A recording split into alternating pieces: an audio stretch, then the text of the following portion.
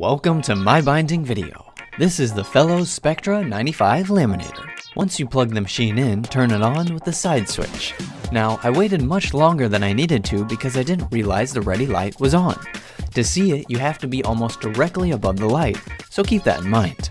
Take your laminating pouch, no wider than letter size pouches, and insert your project.